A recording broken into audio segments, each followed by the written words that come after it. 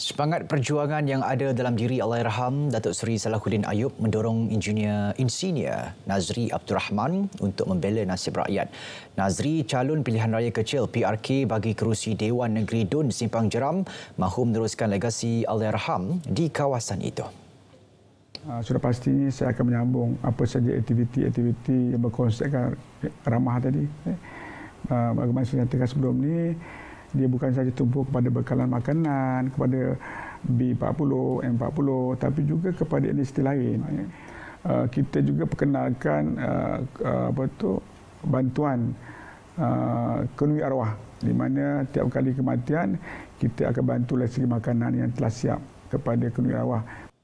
Nazri berkata demikian secara eksklusif kepada RTM di kediaman rasminya. Nazri memulakan karier politik beliau pada tahun 1986. Beliau juga sebagai timbalan Ketua Amanah Kawasan Bakri dan Ketua Biro Ekonomi Pusat Khidmat Dun Simpang Jeram Nazri yang kini berusia 56 tahun memaklumkan telah aktif dalam politik simpang jeram sejak tahun 2015 apabila menjadi pegawai khas kepada ahli parlimen ketika itu iaitu Salahuddin selama 8 tahun.